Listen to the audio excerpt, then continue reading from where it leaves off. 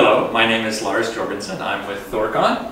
We just did a conference for advanced nuclear in Bali, and this is an extended version of what we presented there.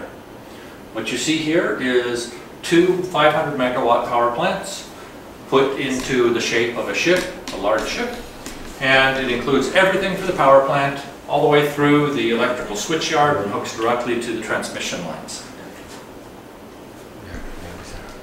This chart shows you all these little circles are coal plants, either operating or under construction or permitted and getting ready to build. As in the case for China and India, uh, developing nation, as soon as it can afford power, is going to buy the least expensive power, which in today's world is coal. So there's a lot of plans to expand with coal. Our goal is to give the odd nations another choice where we can have supply nuclear power at a price directly competitive with coal. That is uh, good in Indonesia in that nuclear power is reasonably well accepted. As you can see here in this chart, up to 77% uh, pro-nuclear attitudes. So we're optimistic we're going to be able to expand in Indonesia. Indonesia is the world's fourth largest country by population and it needs a lot of new electricity, so there's a, a lot of growth potential here.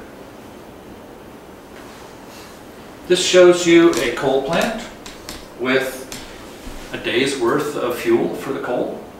Um, it needs 10,000 tons, 10,000 tons of fuel a day. And it generates about 1,000 tons of waste a day.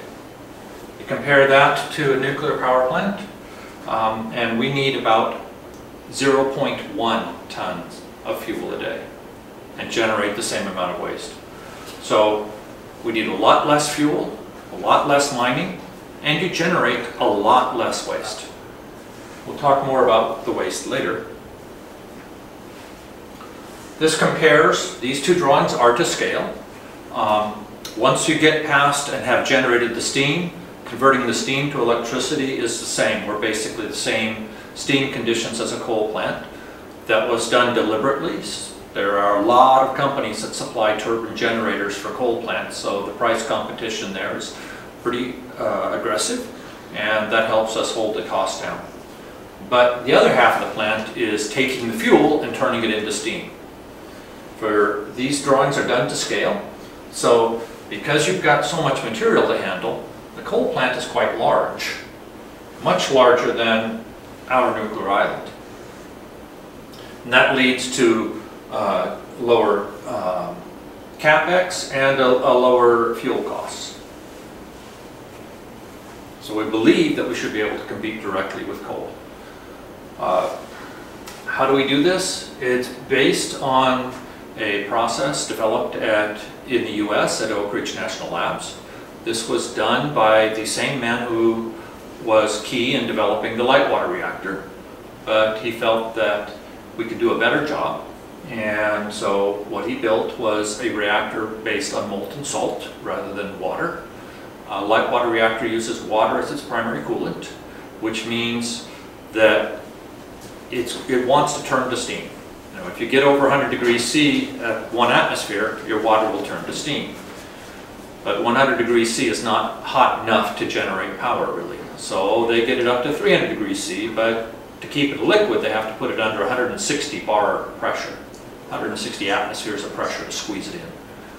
Which means you need thick pipes. If anything goes wrong, that steam wants out. It's going to expand and, and deliver a pressure wave to whatever vessels are containing it. It makes the engineering very much more difficult. In our case, we're using salt as our uh, primary coolant. The salt, if you heat it up enough, 500 degrees C or so, it will melt and become a liquid very much like water. Uh, but it won't boil until 1400 degrees C. We operate between 565 and 704, so we have about 700 degrees of margin before we boil. In other words, we will always be a liquid. We will never turn to a vapor. So if there's any kind of problem, there's no big pressure you don't get the big expansion and when you normally change from liquid to vapor. So we're not going to do that. And if there is any kind of leak, it's going to just spill on the floor like if you had a water leak. Uh, Oak Ridge did this, and they actually built uh, an 8 megawatt thermal uh, reactor core uh, to test out and do the prototyping experiments that are needed for the initial one. When they had finished that and learned everything they could, they developed plans for what to do next. They had several different uh, proposals.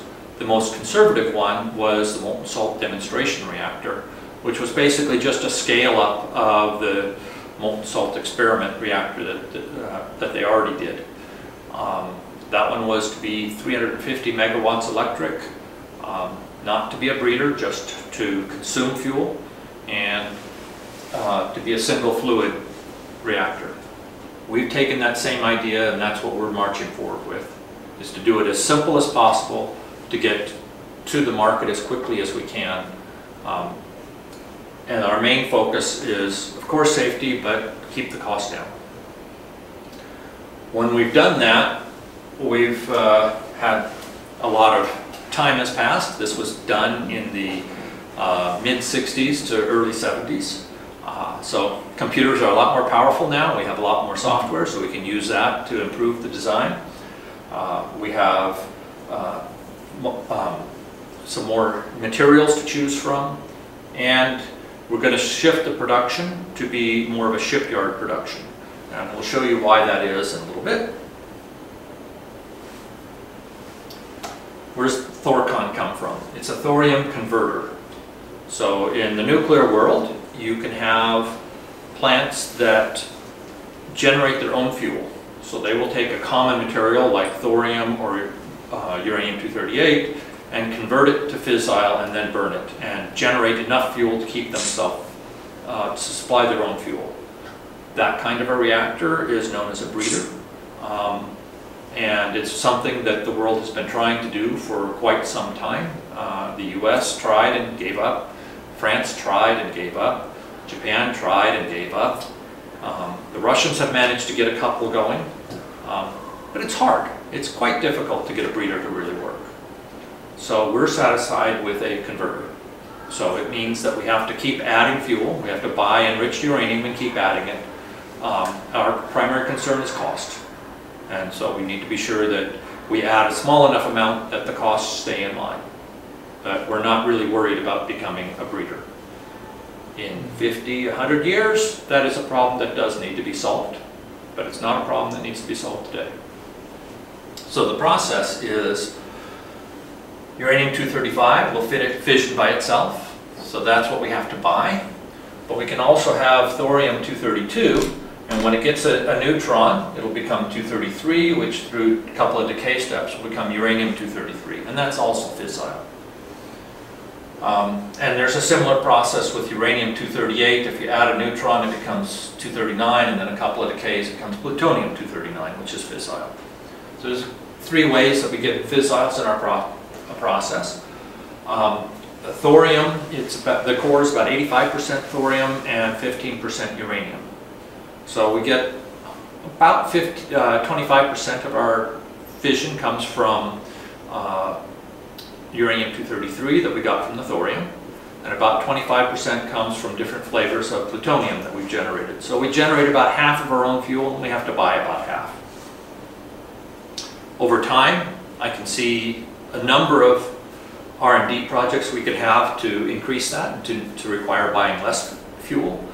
But the key emphasis now is make choices of what we're sure of that don't require R&D so that we can get the, get the plant built as soon as we can.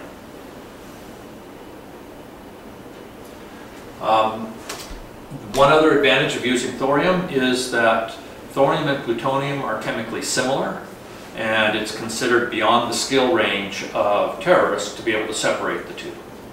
So by having thorium in there, we make it so that the concern a terrorist ship stealing stuff and, and doing work with it is alleviated, at least as far as the U.S. is concerned. Okay, this is a picture of the full power plant. It's built in the shape of a hull. You'll find out more later as to why we did that. But we have over here we have the fission island, this little strip here. Then on this side of it, we've got the decay heat removal process. Uh, that's a very important property for your nuclear power plants. We'll talk to that later. And then a few heat exchangers before we get to the, the main turbine and then the generator. In front of the turbine you see uh, these, uh, first these green um, feed water heaters. So these are the low pressure feed water heaters, the deaerator, and then the high pressure feed water heaters. So the way the turbine works, you've got to heat up the water before you put it into the, um, into the steam generator. And that's the steam generator there.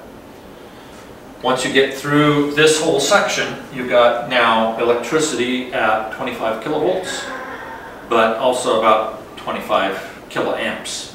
Um, in order to put that on a transmission line, you need to step it up, typically to 275 kilovolts or uh, perhaps even 500 kilovolts, and the current will step down proportionately. So that's what these transformers are. We have uh, three transformers for three-phase grid, and we store a fourth transformer as a spare because the transformers are probably the most likely component to um, break, and we don't want the delay. If, if a transformer goes out and needs to be replaced, we want to be able to do that very quickly right on site. And then you have the switchyard gear with the circuit breakers and such. And then that goes up, and in this case it's drawn uh, just like in the model there, assuming that you're going to, you're parked right near the shore and you're going to have an overhead transmission line. We also have an option where you can send it out uh, in a subsea cable. So if you want to park 5 or 10 or 20 kilometers offshore, that's perfectly feasible. Um, and then you would go uh, with a subsea cable. If you're going to park a long ways offshore, for example, we looked at one site in Europe, which is between London and uh, Belgium, and there we would have to go about 50 to 80 kilometers, and for that we probably want to go to high voltage DC which is something you can also put in as an option into, into the switchgear yard.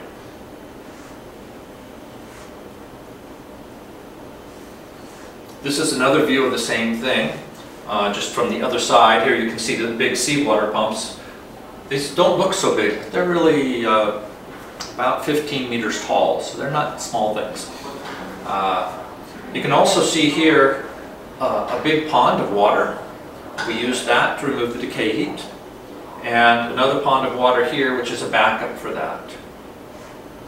But as you look at this, you can see that the fission island is a rather small part of the whole job.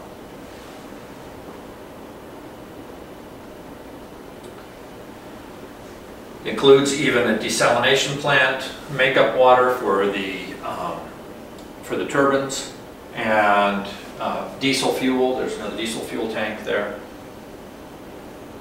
We have our own built-in crane to move stuff around. Everything is accessible by hatches, so there's openings. I don't know if you can see the top of this. You see the, the yellow squares? Those are hatch covers. Because we're at low pressure, we can have very large doors. Those doors are 10 meters by 10 meters and about 500 tons. But the crane can lift them, and then it gets direct access to the, to the components inside the power plant so that we can change out anything that needs to be changed.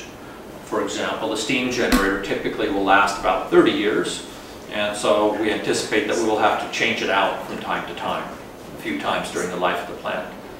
We have seen uh, in the US where the light water reactors have concrete, reinforced concrete containment domes, right? But because the pressure can get so high, the door it's small, not big enough to take the steam generator out. So when they've had to replace the steam generator, they've had to cut through the concrete to get to the steam generator. They even had one power plant that got lost because when they cut through the concrete, they didn't detension the, the steel cables first, and so the concrete and steel delaminated, and they couldn't repair it. So they lost a power plant that way. For us, it's just a, a door. We lift it.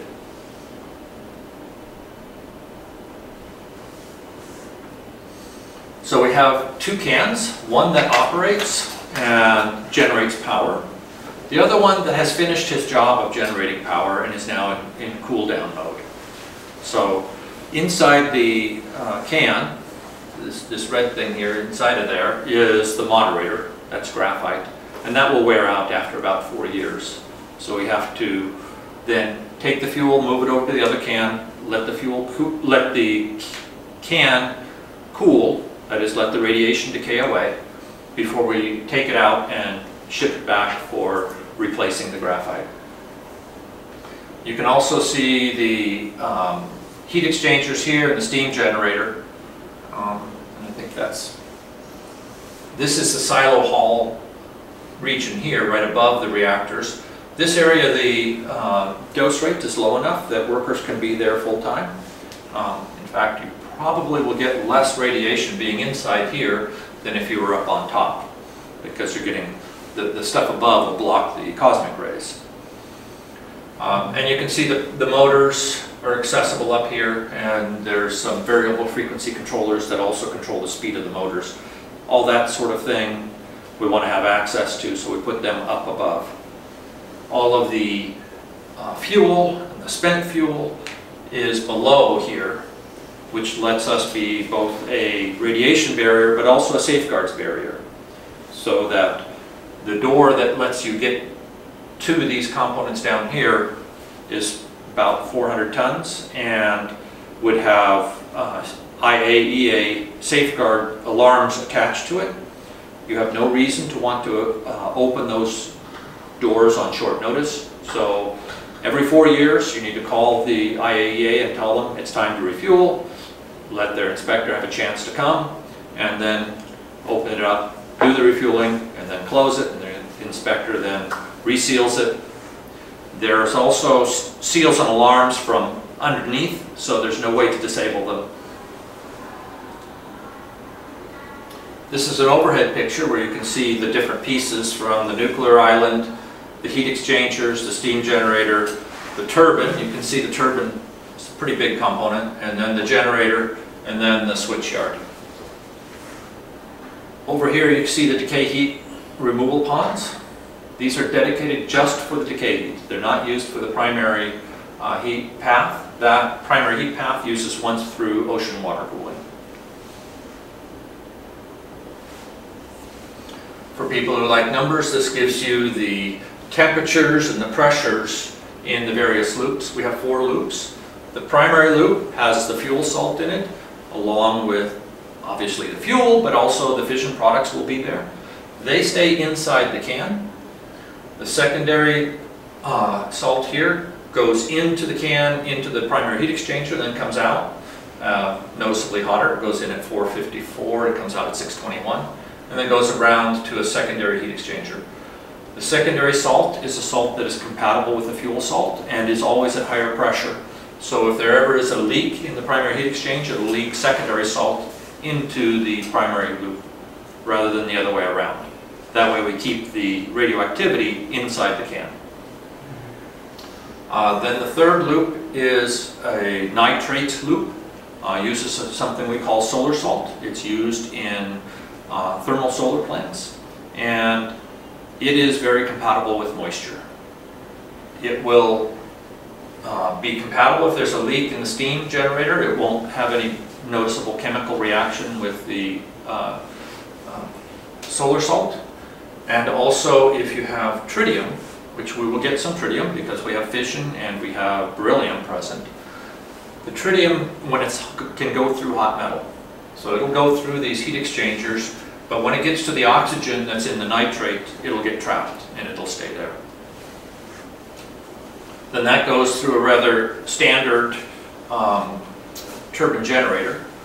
Because we don't have so much material to move, we don't have machinery moving 10,000 tons and scrubbers and all that, our house load is smaller than a um, coal plant, and we don't lose power out the flue because in a coal plant you have exhaust gases, which you lose about 10% of your energy.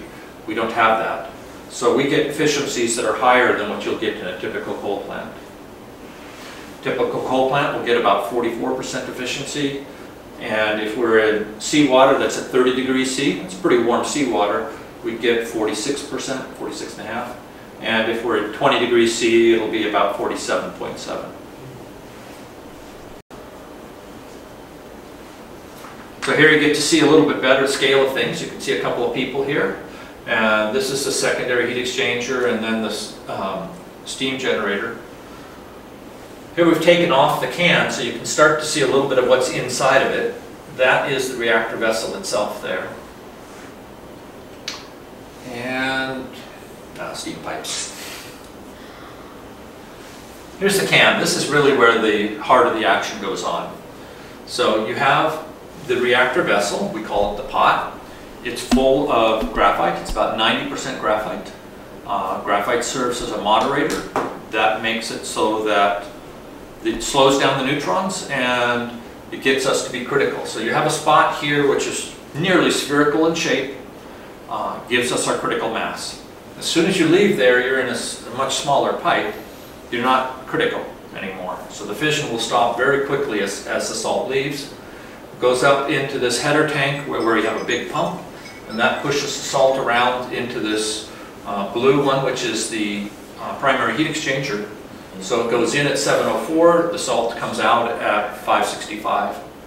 And the secondary salt goes in and out of that same heat exchanger. We're moving the heat from the fuel salt to the secondary salt. One of the nice things about uh, having a uh, liquid fueled reactor is that a lot of the fission products will become either xenon or krypton. They do not have uh, much solubility in the salt at all. They will bubble out. Whether you try or not, they're going to come out. So we go ahead and help them come out and then have a sweep gas of helium to push it along and it'll go into these off-gas tanks where the radioactive xenon and krypton can decay away. Um, and after it's decayed for about a week, it'll come out of there and go into additional tanks that we'll talk about later. At the very bottom here, you can see a little gray thing, just barely, but that's the freeze valve. Um, so the salt is flowing around in this loop here, but there's a pipe that leads from the very low spot in the um, primary loop.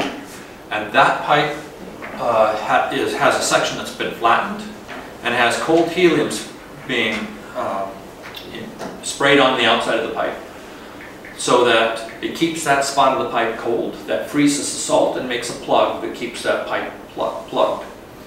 If at any time you cut off the flow of cold helium, that plug will melt and the fuel salt will drain by gravity down into the drain tanks here. The drain tanks are arranged into uh, as tall, skinny uh, tanks. There are 32 of them that are spread around in a, in a circle. The exact opposite of forming critical mass. We've spread the fuel out as much as we can. It also has a lot of surface area to volume ratio so that there's a lot of surface area to radiate heat from the drain tank into this blue area here, which is our cold wall. So the cold wall is steel, and then about a half meter of water and steel. So the heat that's in the fuel will heat up the outsides of, of these drain tanks, and then it will radiate across this argon gas filled gap, heat the steel that's on the cold wall, which will boil the water that's on the other side of that steel. Those bubbles will go up. So the heat will flow naturally from these out and up. We'll talk more about the where it goes from there later. And I think we got it. There you can see more detail the freeze valve. This was designed and debugged by uh, Oak Ridge for their MSRE. We just took advantage of all the work they did. We needed four times the throughput, so we just put down four copies. So that's the simple way we approached it. There you can see the flattened part of the uh, freeze valve. Once the uh, bubbles form in, in this cold wall, they will go up, and then they go over to this uh, radiator, where, which is sitting in that pond of, of, of cold water. That will heat up that water and cause evaporation and will condense the steam that's in, in that's gone up the cold wall, go, gone up the cold wall, and that will then be returned to the basement where it'll come back in at the bottom. There are no valves in this system. It's always on, and there's nothing an operator or prime minister can do to stop it. So if you ever did have any kind of a problem, There are sensors that tell that we're more than 50 degrees above normal. So things aren't right, and it cuts off the electricity that drives the helium pumps. That cuts off the helium flow, then the freeze valve will open, and the salt will come down into the drain tanks that are hidden by this nice pretty blue thing, and then the heat will be pulled out from there. And all of that is something that requires no electricity, requires no machinery, there's no operator action, no maintenance worker can leave a valve in the wrong spot. Because what we've observed is that every one of our nuclear accidents have involved people doing the wrong thing. So we've made it so that if a person does the wrong thing, the reactor will, by physics, shut itself off and remove the decay heat. This cooling pond has enough water in it to last for about five months, at which point the decay heat has gotten far enough down, we believe that uh, air cooling will suffice from that point. We haven't run those numbers yet, but that's, that's what our plan is. So the, the water in this wall is in a closed loop. It doesn't evaporate. It's the water in the pond that evaporates. The other thing I'd point out is that the, this is open to the atmosphere. Uh, so if you had a fire truck, you could add water to that pond without trouble. And one of the problems they had at Fukushima was they ran out of cooling water. They got a fire truck there, but the pumps in the fire truck were not strong enough to force the water in against the big pressure that was inside that cooling system.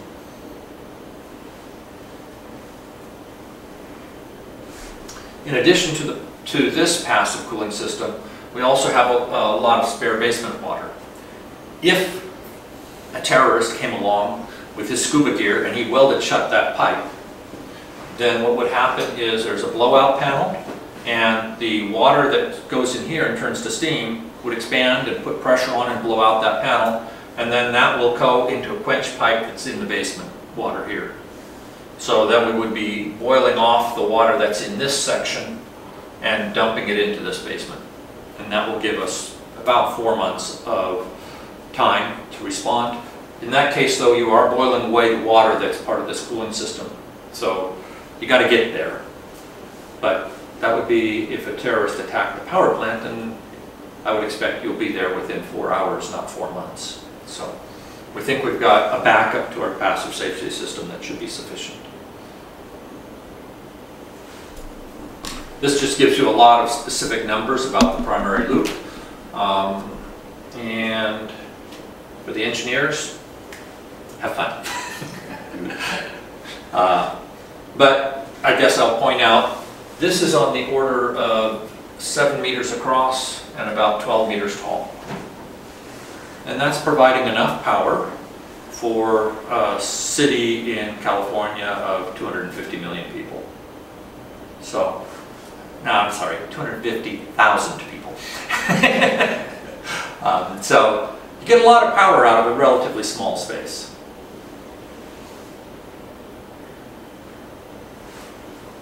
We have three shutdown rods. Any one of them can shut down the uh, power plant and stop fission.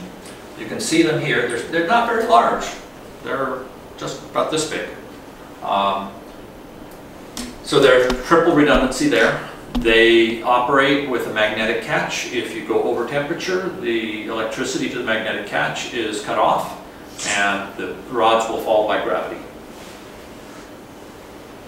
Takes about two seconds to, to drop, so um, that gives us our fastest uh, mechanical way of shutting down power. The other ways that you shut down power is that um, it has a negative uh, temperature, negative thermal coefficient of reactivity, I'll get it out, uh, so that as the salt gets warmer, it will be less reactive. It will shut itself down. If you have if, the, if for some reason all three shutdown rods failed, the reactor would heat up and it would shut down within about 80 seconds, just from getting too hot. Okay. Okay. Um, I mentioned that Xenon and Krypton want to come out. They are about 40% of the fission products. Um, we can grab about 25 to 30% of, the, uh, of all the fission products by pulling the uh, off gas off So what we have is, there's a gas headspace above the header tank, around the tank pump, to let the, the xenon and krypton come out, and then we have a sweep gas at about two liters per minute. The xenon and krypton are generated at about one liter per hour. Those go into these uh, tanks that are still inside the can to let the most uh, intense part of the radioactivity die down before we leave the can. Once it's been died down for about a week, it goes over into these two very large tanks, so that's almost 500 cubic meters worth, uh, where even the longer lived fission products will decay away. So that the, by the time we get to here, we'll be down to just the tritium and the krypton 85. That will go over to a cold trap, which will separate out the xenon, which at this point is no longer radioactive, put that into bottles, and it will also separate out the krypton and put that into a bottle. And then there's a getter to gather any oxygen or tritium that have leaked into the system. Um, the salt is not corrosive unless you get oxygen or moisture in there. So we continuously remove down to parts per million all the oxygen and moisture. Tritium is generated and some of it will go with the salt, so we'll grab, with the off gas, so we'll grab that and then we'll compress it and send it back around. So we have a closed loop for our helium. Um, okay. Inside the can is graphite, it's the moderator. The neutrons that strike the, the carbon atoms will move them out of place. And eventually that makes the graphite swell. So it'll first shrink by 2% and then it'll start swelling. When it gets back to its original size, we say, okay, it's done now, and we need to replace it. We don't try to replace it at the, at the power plant site. Instead, we leave the primary, leave the graphite inside the pot, which is inside the can. We take the whole can out, and we put it into a specially designed ship, which we call the can ship. This is designed per international standards for transport of nuclear materials. And we'll put that into there, and this ship will also bring a replacement can. So every four years the ship comes by, it brings in fresh cans, takes out the old cans, it brings in fresh fuel, takes out the old fuel. And that's what this big sturdy crane is for. That, I should also mention that allows us to do a thorough inspection of all the parts inside the can so that uh, we can replace any other parts that are wearing out. For example, we expect the bearings will have a life of about 16 years, so they'll have to be replaced periodically. Um, there's a filter in there that probably gets replaced every four years. It's just a few things that will need to be replaced regularly. The primary uh, metals generally will not need to be replaced. Okay, then some details on the can ship. Uh, this can be placed, this ship can take shallow draft, so it can go up rivers um, as well as go through the ocean. Uh, for Indonesia, I think we'll be almost entirely ocean-based, but in many other places we need to be able to go up major rivers.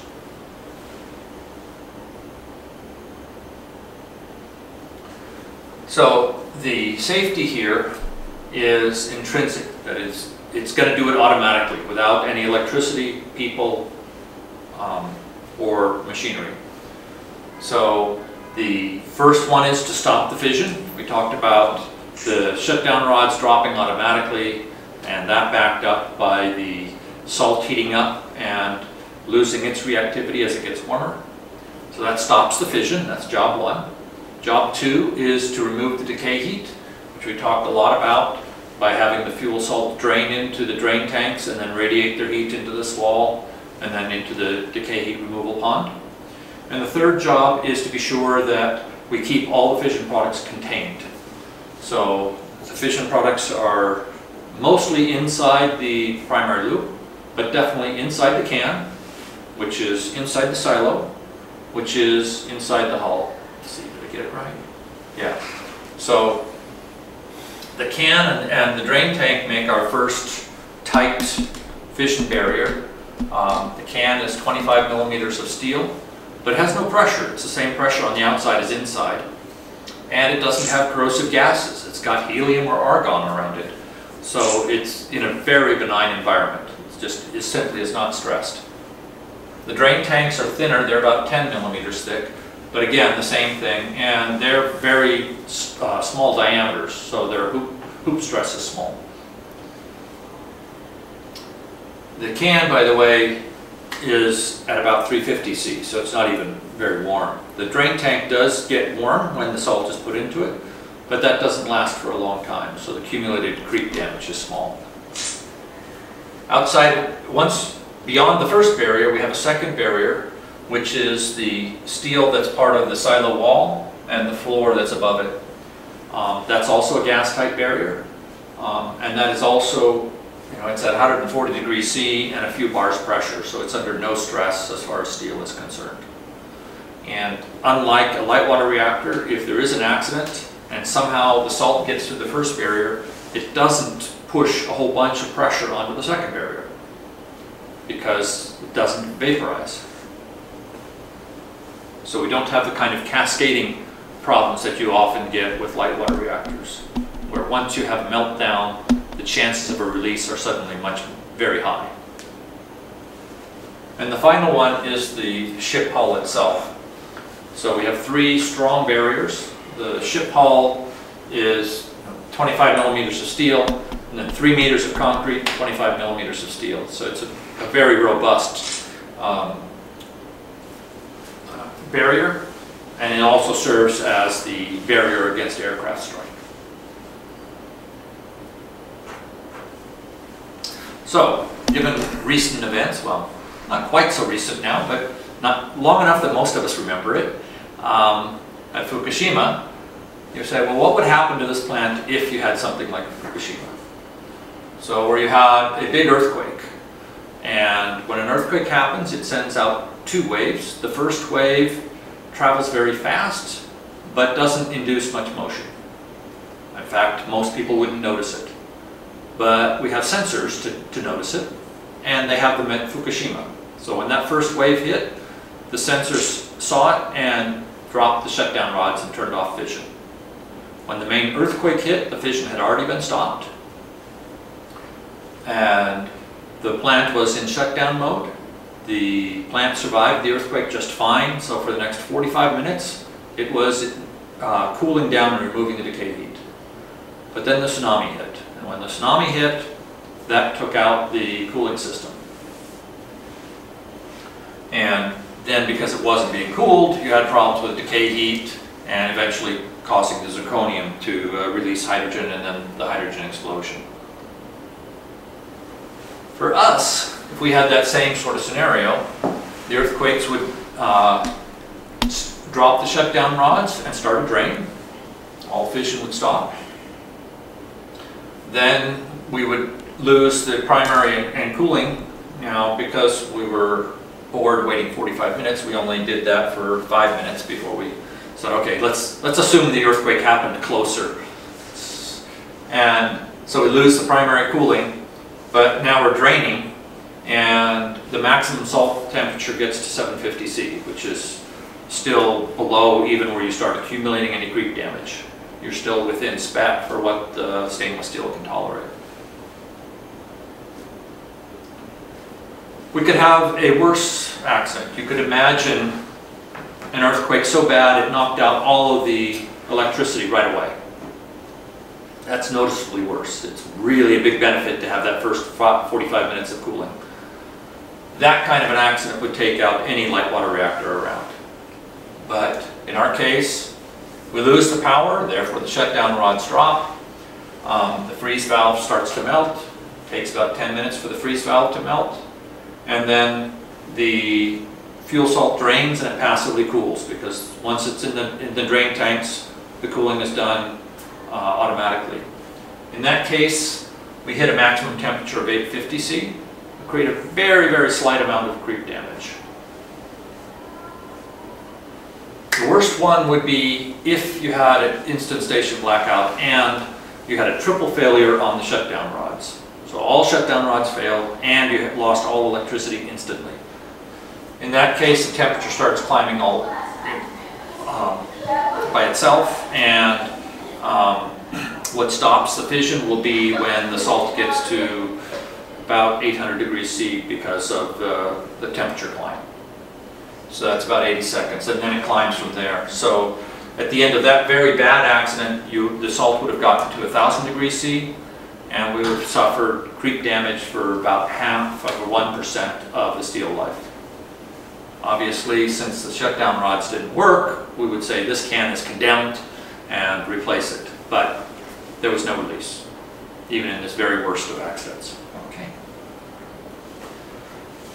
So, um, I told you we designed this like a ship. Uh, when we designed it, we put down the spec that it should survive North Atlantic storms. Uh, North Atlantic storms can give you 9 meter tall waves, accelerate your ship by 1 G. Um, so here you see a, a finite element model of the ship, and the blue line that's sort of waving along is the wave. And we did a bunch of different wave patterns. We had to do a little bit of adjustment to add some high strength steel here and there where there was biggest stress. But we were able to design this to tolerate um, 1G forces. And in the North Atlantic storm, that's going to last for days. In contrast, an earthquake, typical light water reactor is spec to 0.4 Gs, and earthquakes last, a long, big one might last a minute or two. Most of them last a few seconds. So the, the designing it to be able to be towed meant that we've designed it so that it would be able to tolerate quite severe earthquake. We also looked at what happens with an aircraft strike. For the vast majority of the plane, it just crumbles. Planes are made deliberately to be as light as possible, so when they hit something solid like what we have, the plane itself will just crumple to dust. But the engine has some sturdy components in it. So what we actually modeled was the engine itself. We had it flying at 200 meters per second, which is a pretty good clip to try to fly when you're down at sea level. Um, that's getting you pretty close to uh, supersonic speeds where the plane will just rip itself apart. What happened was the engine did penetrate the steel on the outside. Then it bumped into all that concrete. It pushed the concrete enough that it uh, dented the inner wall by 300 millimeters, but it didn't penetrate the inner wall. So we were able to survive a aircraft strike, and this was with pretty um, pessimistic uh, presumptions. So we had we assumed the plane was able to strike us right at 90 degrees at maximum speed, which takes a really good pilot. Um, okay. Next question is how are we're going to deal with earthquakes. So we're going to be resting on the seabed. We're not floating, so we will feel a little bit of the earthquake, but we'll have a fair amount of sand below us. And if it's not natural sand, then we'll prepare the seabed to put that in. The sand won't transmit strong forces. You know, if, you, if you try to move something hard against the sand, you're going to slide over the top of it rather than moving the whole sand. So you can have a strong earthquake here at over 1G, and the sand will give way so that the hull only sees about 0.3 Gs. So we should be very comfortable with the horizontal forces uh, of, a, of the sand. We have not completed this analysis. We have to figure out how to accommodate the vertical forces, and that's a bit of a complicated uh, analysis that we probably will have to employ the people that build the offshore platforms to be able to do that analysis. In addition, the, the can is inside, it is suspended, suspended with basically shock absorbers so that the can, so there's an attenuation between how the hull moves and how the can moves. Another concern we would have to watch out for is tsunamis. We are, after all, at sea level. Um, the hull is 30 meters tall and typically will be in 5 to 10 meters of water. So you'll have 20 or so meters of freeboard. So if, the, if a tsunami comes along and it's less than 20 meters, it's not going to do much. Uh, Depends on where you are. Uh, We would recommend you not put yourself in a specific tsunami zone. Um, To get a large high wave tsunami, you really need a land structure that looks like a lens to focus that tsunami and focus all that energy into a small space. There's relatively few places like that, so most of the places you could choose would have much, much smaller tsunamis as even a potential. Um, If you are in a place that has a larger potential, you can put in heavier uh, ballast. So we tow it, which means it's floating to the site, and then we ballast it down. We add water and cement to make it heavier so it sinks to the bottom. If the tsunami raises the water level, then the ship could float if it gets too much. By using a heavier ballast, you can prevent that, and we can even have, use a heavy enough ballast to keep it on the bottom at all times. Um, That would probably be an extra $100 million of capital cost. Can be done, we're not recommending it. We recommend instead, choose a place that doesn't have 20 meter tsunamis. There aren't very many that have those. Oh, by the way, also don't build on top of a volcano. Yeah. No guarantees for that. Okay, a topic that gets discussed a lot is what about the waste? Yes, please. For nuclear power, waste is actually one of our advantages compared to our competitors. It's only when you compare it against perfection that waste is really, that you can try to make that a big problem. This is a picture of the waste from a coal plant. A coal plant generates about 100,000 times more waste than a nuclear plant, which means they generate so much waste they can't afford to put it in containers. They make big piles out of it, make lakes out of it. And even in the US, we've had those when there's a, a heavy rainstorm, we've had that turn into a, a slush and break its dam and go wipe out a town. It's happened more than once. We've never had a problem with uh, nuclear waste. This is all the waste from a light water reactor. Oh yeah, you can barely see it, 28 years 450 megawatts. So, and you can see people standing here. That tells you two things. One, the scale is not large. Two, it's not a radiation area. People can walk up right up to the can to the cans because they have shielding in them, and they're cooled by natural draft circulation. So they're just air cooled. They're basically just sitting there in a parking lot. So that means of storing waste can be done. If you wanted to do that for Indonesia, you could do that. See the next slide. Yeah. Um, for the, the plan is that this is BATAN's responsibility, and they will find an uninhabited island, and that will provide enough storage to let you store all of the waste from all the nuclear power plants if you used only nuclear power for generating your electricity for the next hundred years. So there's no problem storing the waste. We can do that. And that is currently the baseline plan. So the fuel lasts in the plant for 16 years, and then it cools on board for at least four, maybe up to 12 years more before we try to ship it. We put it into a special shipping cask, and we put that on the can ship, and we take it to wherever that storage site is.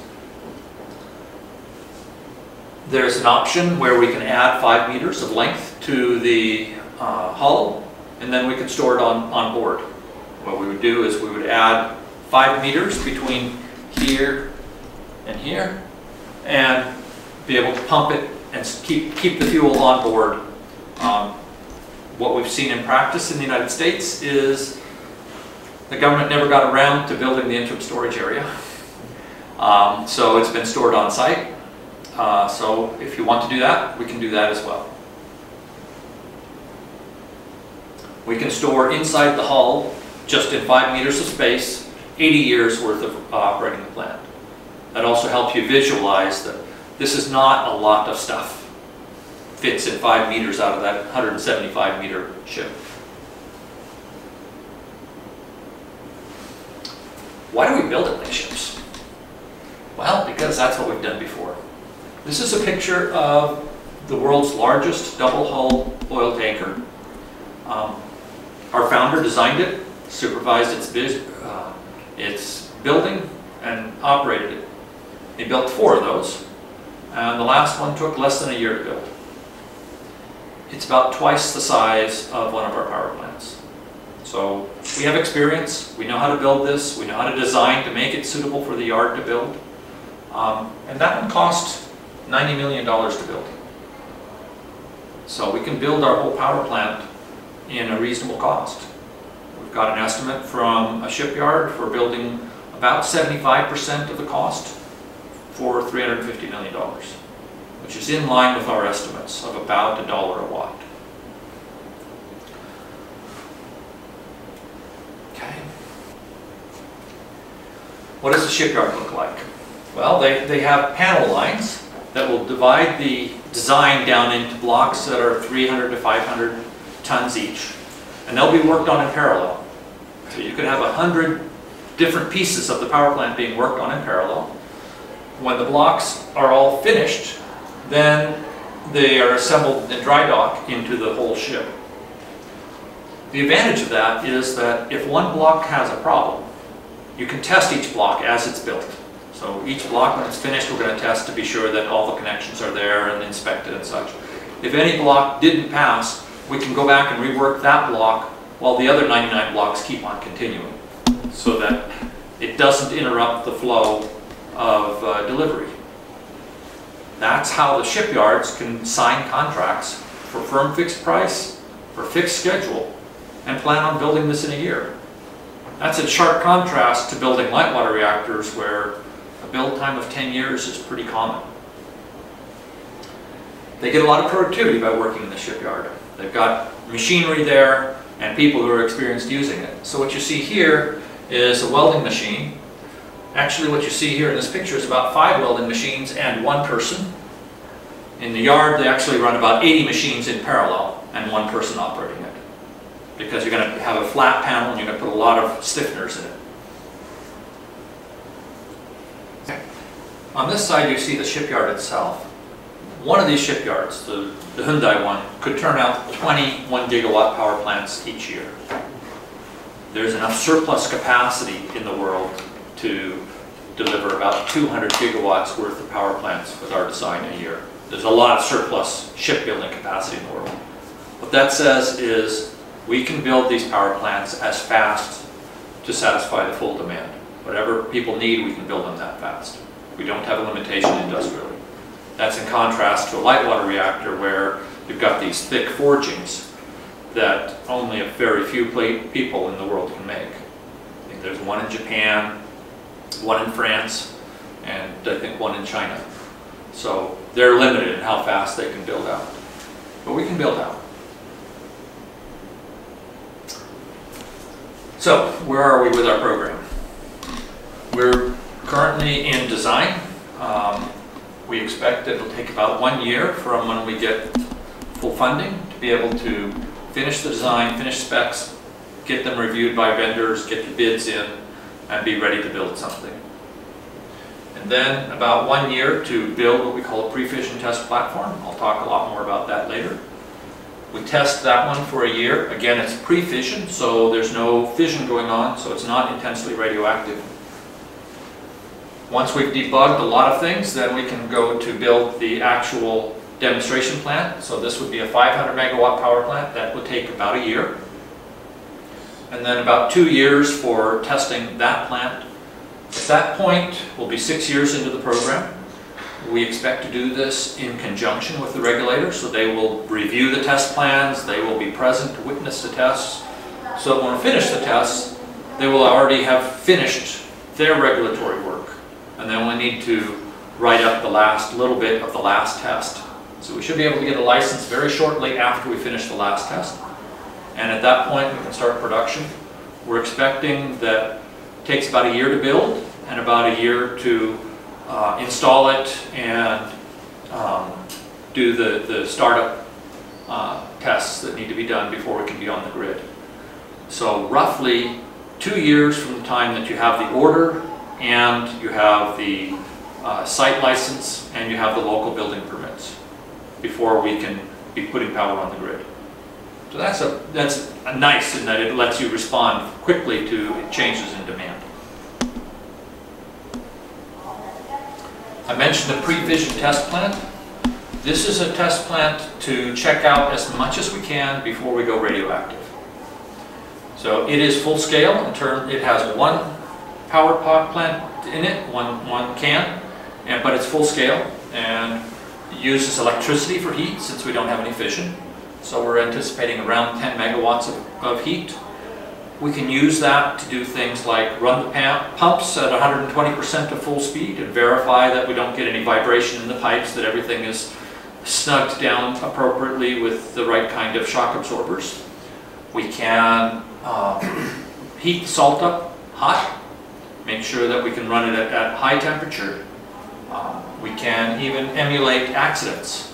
So we can, uh, for example, drain the salt and turn the heaters on that are in the drain tanks to mimic the heat that's generated by decay heat and verify that the cold wall will extract that decay heat and send it up to, to the decay heat removal pond. So even before we have built the uh, demonstration plant, we should be able to create a mock-up of a Fukushima accident and verify that this is not going to be an exciting test. It's going to be a boring one. This is a rather large structure. It's about 30 meters cube. You can see scale with the people there.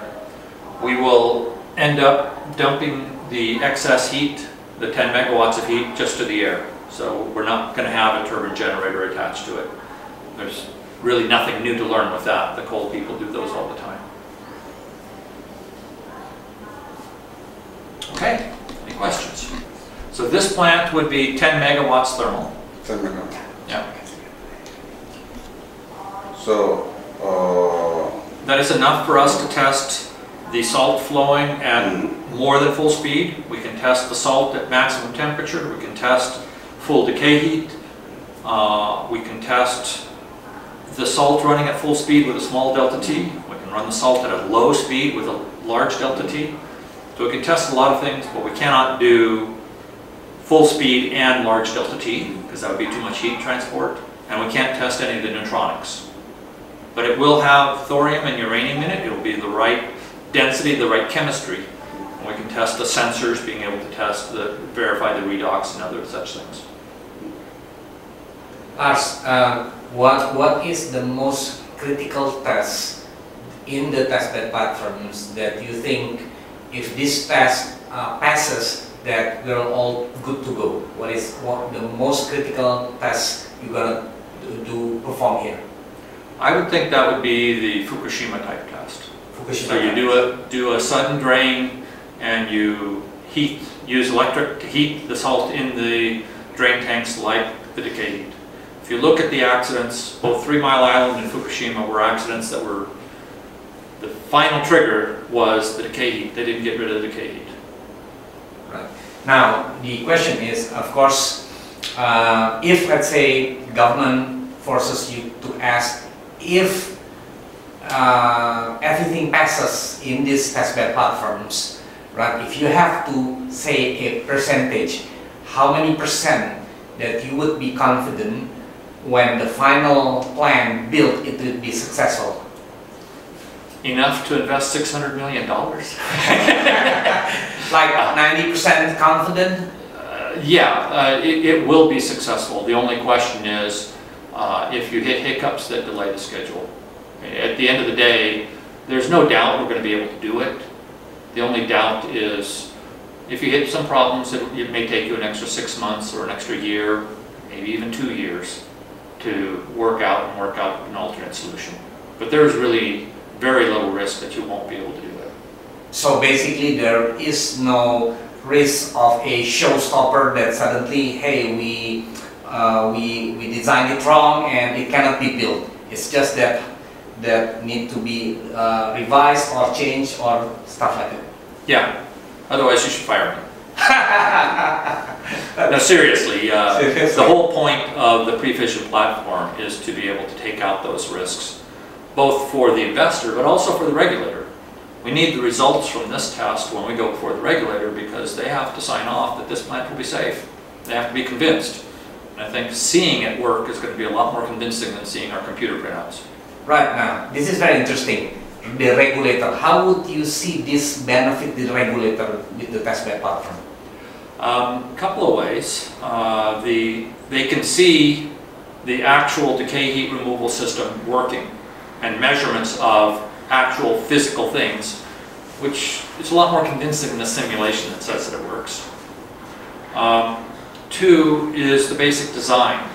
The fact that the safety system is very confined in a small space and is fully passive makes it a lot easier to analyze. You look at the safety system on a light water reactor, you have to have a safety system that can overcome very high pressure and force liquid in there. It has to be able to retain high pressure. There's, the safety system on a light water reactor is a very impressive piece of engineering.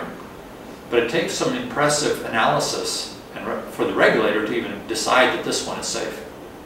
In our case, because it is fully passive, it is something that is much more clear that it's safe. Know, when you get a very complicated system, then you've got to start thinking, well, what if this and then this and then that? You get a lot of combinatorics that can happen. And that's really, when you look at any of the accidents, it hasn't been one thing that's failed. It's been when you get a combination of three or four things that were seemingly independent that things went bad.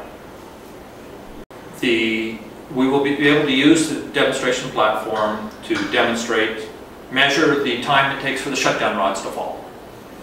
The time you cut off electricity until the time they've fallen, we can measure that. We can measure how long it takes to drain. We can measure how well the heat transfer happens from the drain tank. We can overpressure the silo and, and show that it keeps things contained, and likewise for the whole silo hall. We can measure all those things as actual measurements before we build it. Most of the time, when you build a new reactor kind, the first of a kind is the full power plant, and you're depending, when you got your license, the regulator had to do it based on simulations.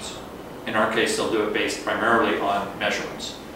The place where there won't be measurements will be on the neutronics.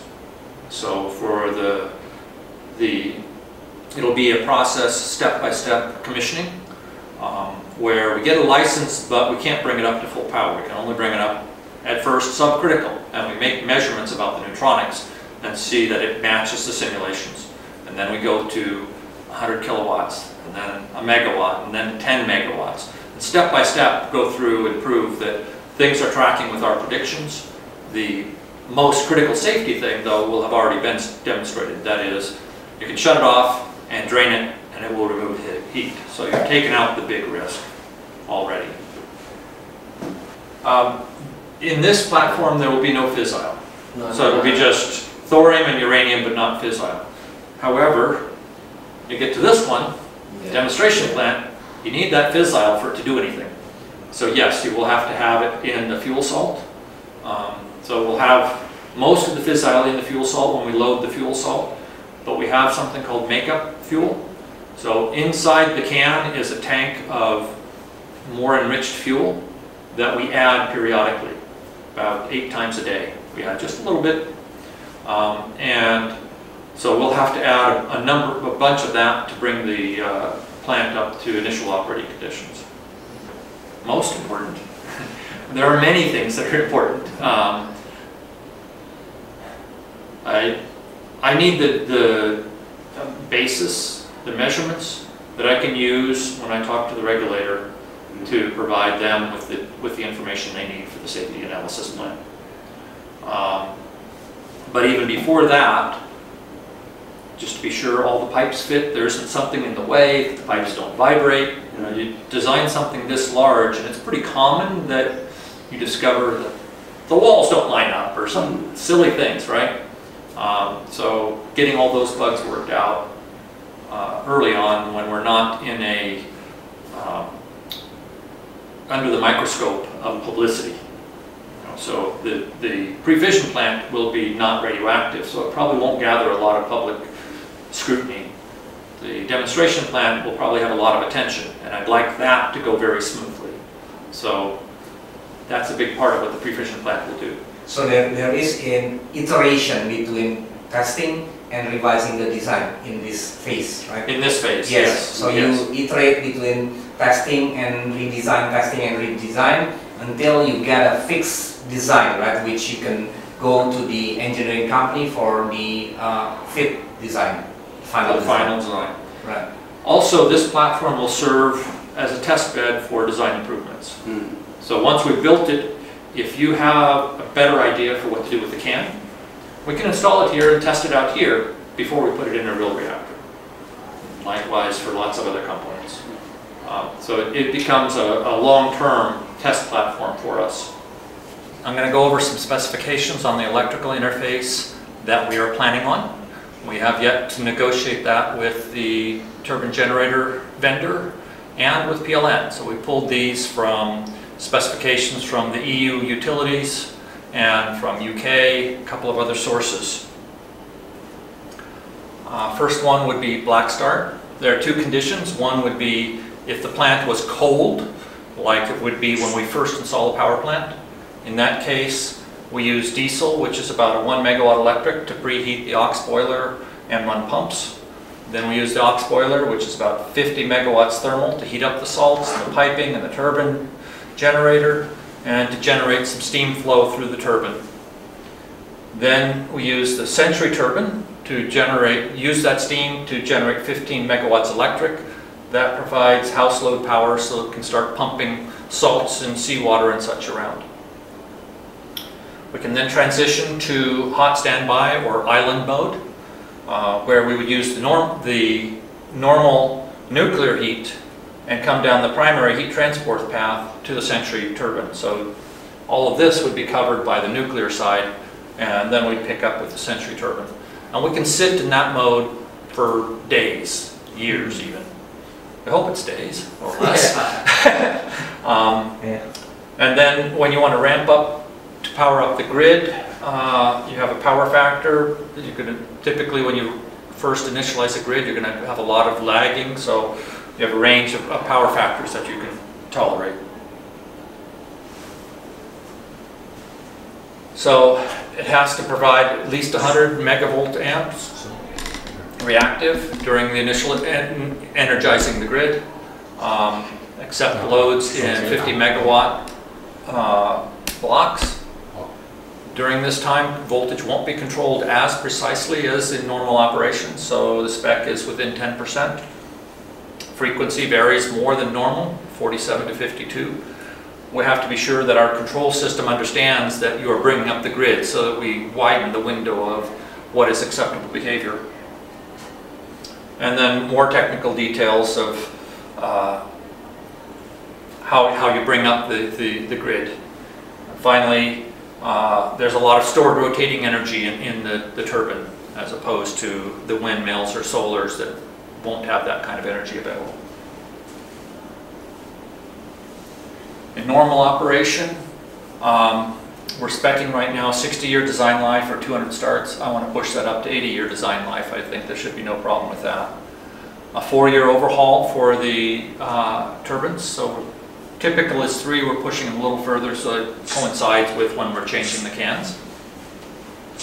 A ramp rate of at least 5% per minute from 50% to 100% power. We can talk to the, the, the vendors and find out if they can ramp faster, but that should be enough to, to be load following. If you're less than 50% power, then the ramp rate is slower because it's actually proportional to the power that's being put out. So it's spec at 3% per minute between 30% power and 50% power. We already talked about the power factor uh, and about tolerating uh, a wider range of uh, line frequencies than what's normal operations. And then we have automatic voltage control so that if you want us to be the primary frequency control or the secondary voltage control, we could play those roles. I would expect for the demonstration plant, our focus will be on initially being base load, and once that is well in hand, then we'll, we'll move on to, to being able to do more load following.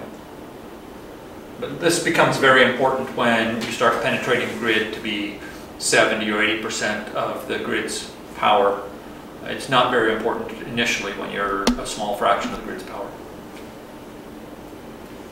And That's that's it. it. Very good.